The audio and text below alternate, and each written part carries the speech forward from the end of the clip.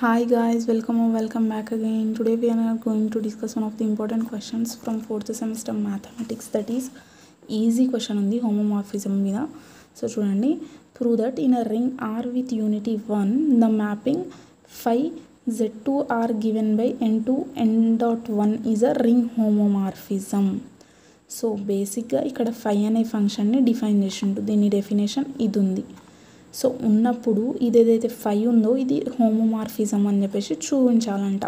Ring homomorphism అంటే ఏం లేదు చూడండి.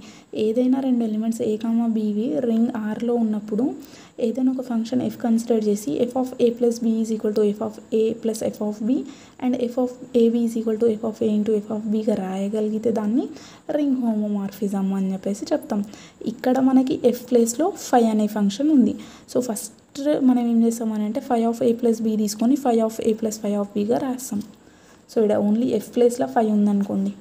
సో ఉందనుకుంటే ఫస్ట్ ఈ ప్రూఫ్ చేస్తాం. సెకండ్ ఫైవ్ ఆఫ్ ఏవి తీసుకొని సో ఇక్కడ ఫైవ్ ఆఫ్ ఏవి తీసుకొని phi of a to phi of ఏవి షో చేస్తాం. సో షో చేస్తే ఈ రెండు షో అయిపోతే రింగ్ హోమోమార్ఫిజం షో అయిపోతుంది. సో షో చేయడానికి మనకి ఇక్కడ డెఫినేషన్ ఏమి ఇచ్చిండు అని అంటే ఎన్ టు ఎన్ డాట్ వన్గా రిప్రజెంట్ చేసిండు దీన్ని. సో అయితే చూడండి ఫస్ట్ ప్రూఫ్ ఎట్లా వేస్తామని అంటే given R is a ring with unity one and let a comma b belongs to Z then phi of a is equal to ఎట్లా డిఫైన్ చేయొచ్చు మనం? ఏ డాట్ వన్గా డిఫైన్ చేయొచ్చు. ఎందుకు అని అంటే ఎన్ లోపల నుంచి ఈ జెడ్లో ఎన్ ఉంటుంది. ఆర్ వాల్యూ ఎప్పుడు అవుతుంది అప్పుడు ఎన్ డాట్ వన్ అవుతుంది. సేమ్ వేళ ఇప్పుడు జెడ్లో ఏ తీసుకున్నాం. తీసుకుంటే ఏంటి? ఏ డాట్ వన్ ఇజా ఇది బేసిక్గా డొమైన్ కోడొమైన్స్ చూడండి. ఈ ఇమేజెస్ చదువుతాం కదా డో కొమైన్ డో డొమైన్ కోడొమైన్ అంటే. ఇట్లా టూ ఉంటే ఫైవ్ అనే ఫంక్షన్ ఏదైనా ఒకటి ఎక్స్ స్క్వేర్ అనుకుందాం అనుకుంటే టూ స్క్వేర్ వాల్యూ ఏంటి? ఫోర్.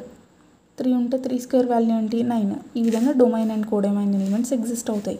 సో ఇక్కడ మనకి ఫంక్షన్ ఎట్లా డిఫైన్ చేసిండు? ఎన్ డాట్ వన్గా ఇచ్చిండు. సో అంటే జెడ్లో ఈడనేమో ఎక్స్ స్క్వేర్ ఉండే కదా ఫైవ్. అట్లా కాకుండా ఎన్ డాట్ వన్ లాగా ఉంది ఇక్కడ. సో సేమ్ వేలో ఇప్పుడు ఏ తీసుకున్నాం జెడ్లో తీసుకుంటే ఫైవ్ ఆఫ్ ఏ వాల్యూ ఏమవుతుంది? ఏ డాట్ వన్ అవుతుంది అంతే కదా? ఎన్కి ఎన్ డాట్ వన్ అవుతుంది అని చెప్పినాం. ఇది డొమైన్ ఇది కోడొమైన్.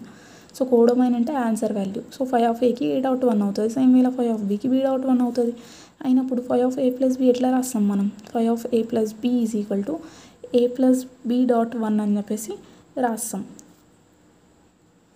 ఎందుకు చూడండి? ఫైవ్ ఆఫ్ ఏ తీసుకున్నప్పుడు అది ఏ డాట్ వన్ అయింది. ఫైవ్ ఆఫ్ బి తీసుకున్నప్పుడు అది బి డాట్ వన్ అయింది. సేమ్ వేళ ఇడ ఏ ప్లస్లో ఏ ప్లస్ బి ఉంది ఉంటే సేమ్ వేళ ఇక్కడ ఏ ప్లస్లో ఏ ప్లస్ బి వచ్చేసి డాట్ వన్ వస్తుంది. అంతే కదా? డొమైన్ కోడొమైన్ అకౌంటింగ్ డెఫినేషన్కి. సో అయితే ఇప్పుడు ఈడ ఏం రాయొచ్చు నేను? ఏ ప్లస్ బి డాట్ వన్ని A dot one plus B dot వన్గా రాయొచ్చా? రాయొచ్చు. రాసేటప్పుడు ఇది ఏమవుతుంది A dot one is nothing but the five of A B dot one is nothing but the five of B so ఇవన్నీ సేమ్ అనిపిస్తాయి కానీ కొంచెమే డిఫరెన్స్ ఉంటుంది చూడండి. ఫోర్త్ సెమ్లో థర్డ్ అండ్ ఫోర్త్ యూనిట్స్ అట్లానే ఉన్నాయి. స్టోరీ చెప్పిందే చెప్పినట్టు అనిపిస్తుంది. తిప్పి తిప్పి అదే చెప్తున్నట్టు.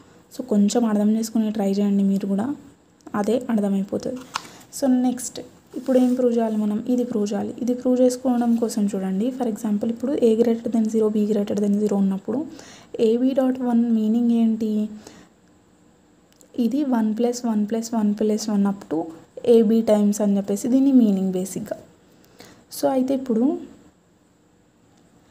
ఏబీ టైమ్స్ వన్ని యాడ్ చేస్తున్నామంటే ఫస్ట్ ఏ టైమ్స్ ఒకసారి బీ టైమ్స్ ఒకసారి యాడ్ చేస్తాం. అంతే కదా? One plus one plus one up to a times one plus one plus one up to b times అని చెప్పేసి. సో అయితే ఇప్పుడు దీన్ని మనం ఏం రాయొచ్చు? ఏబీ డాట్ వన్ ఏదైతే ఉందో దాన్ని A dot one into B dot one అని చెప్పేసి రాయొచ్చు బేసిక్గా రాయొచ్చా? రాయొచ్చు. అయితే చూడండి ఇప్పుడు ఫైవ్ ఆఫ్ ఏబీని కన్సిడర్ చేసినాం. Five of A B is equal to ఏమవుతుంది? ఏబీ డాట్ వన్ అవుతుంది. ఎందుకు? డొమైన్ అండ్ కోడొమైన్ డెఫినేషన్కే. ఎన్ అనేది ఎన్ డాట్ వన్ అవుతుంది కదా ఇమేజ్. సేమ్ వేలా ఫైవ్ ఆఫ్ ఏబీ వచ్చిందంటే which is nothing but the ab dot one అని దాని మీనింగ్. సో అయితే ఇప్పుడు దీన్ని ఎట్లా రాయొచ్చు అని చెప్పుకున్నాం ఇంతకుముందు? A dot one and b dot వన్గా రాయొచ్చు అని చెప్పుకున్నాం కదా? రాసినాం. సో ఏ డాట్ వన్ వాల్యూ ఏంటి ఇనిషియల్గా phi of one phi of a. B dot one value అంటే phi of b so therefore from one and two మనం ఏం చెప్పొచ్చు?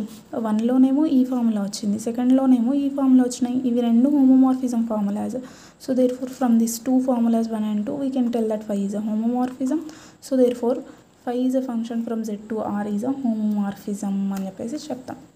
So ya that's it I hope you understood so అర్థమైందని అనుకుంటున్నా. డెఫినెట్గా like చేయండి. కింద కామెంట్ చేయండి. అర్థమైతే అండ్ ఛానల్ని సబ్స్క్రైబ్ చేసి బెల్ ఐకన్ని ప్రెస్ చేయండి. Thanks for watching till the end